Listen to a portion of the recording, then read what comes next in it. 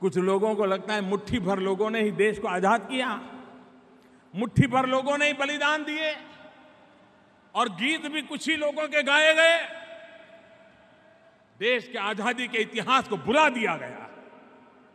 देश के लिए मर मिटने वालों को याद करने में कुछ लोग कतराते रहे हैं। अठारह सौ सत्तावन से उन्नीस सौ सैंतालीस तक मेरे आदिवासियों ने हर हुकूमत के सामने लड़ाई लड़ी। बलिदान दिए हैं। एक साथ सौ सौ आदिवासियों को फांसी पर लटका देते थे अंग्रेज़।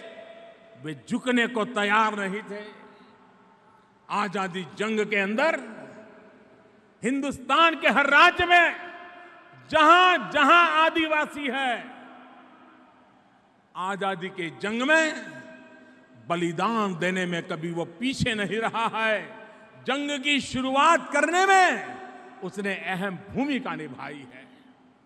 मेरे देश की भावी पीढ़ी को पता चलना चाहिए कि मेरे आदिवासी भाई जंगलों में रहे, पहाड़ों में रहे पहनने के लिए कपड़े नहीं थे, लेकिन मैं आप भारती की आज़ादी के लिए बलिदान देने में कभी पीछे नहीं रहे। उनका सम्मान होना चाहिए, उनका गौरव होना चाहिए। भावी पीढ़ी को उनकी प्रेरणा मिलनी चाहिए।